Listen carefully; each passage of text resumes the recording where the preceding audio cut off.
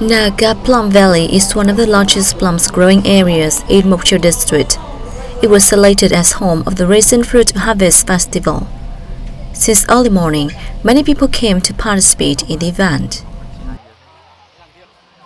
I think it's interesting, especially for kids. It's also my first time here. I can pick and eat fresh plums in the orchard.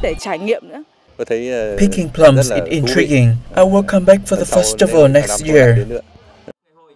Visitors to the festival also had a chance to participate in several activities such as plum picking contest, plum tasting, and cooking.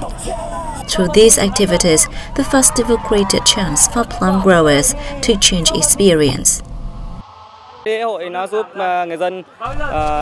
festival helps local people promote the province's special agriculture products.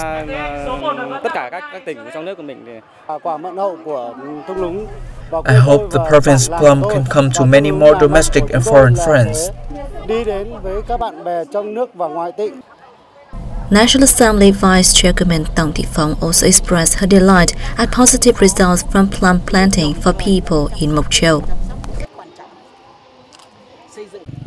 I praise Moc Chau District's move to organize this bloom picking contest. The initiative aims at honoring the locality's typical agricultural product. Moc Chau is a place where plums have been grown for a long time.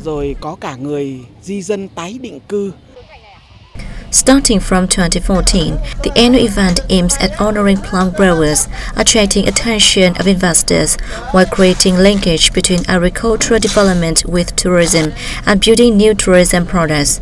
Besides, the agricultural product has also become one of the key crops to help local people effectively reduce poverty.